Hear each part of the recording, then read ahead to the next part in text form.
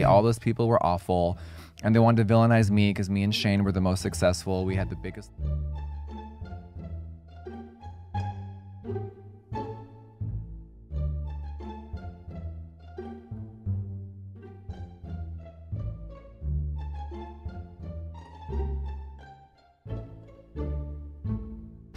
I enjoy making content, but I think beauty overall on YouTube is is kind of dead. A little bit, a Oh, little yeah. bit. Why? Why is that? All the drama, eh, all the craziness, all the personalities, and it was just It just got no fun, huh? it, it got so unfun. So toxic. so fucking toxic, Yeah. so dark and ugly.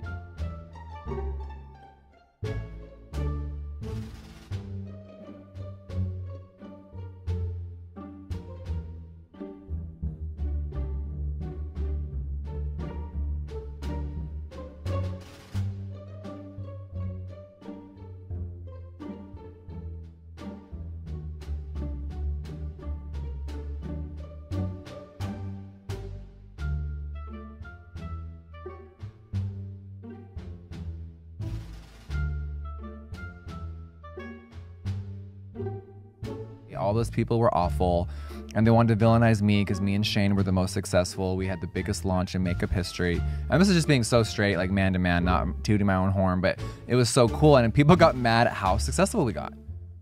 And they stirred up so People many throw rocks up. They don't throw rocks down. and they got and they didn't like how big we won so all the beauty people got angry and tried to take us down you know it's like a whole it's it's dark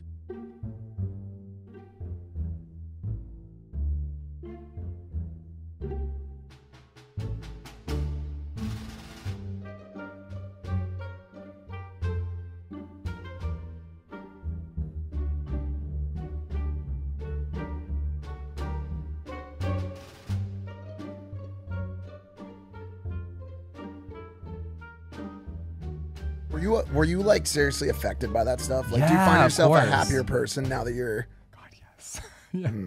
way way happier